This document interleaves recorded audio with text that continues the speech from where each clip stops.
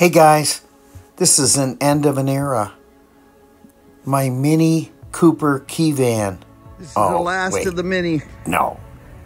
What a beauty. Let's watch the video. What a beauty, guys. It is spectacular. Look at those wheels. It's going to a company called Flow Mini. This is cool. They're loving it. I had my fun.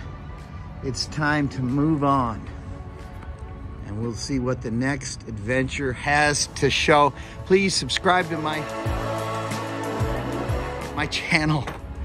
Tell your friends, and we'll have more fun videos like this coming your way. Thanks, guys.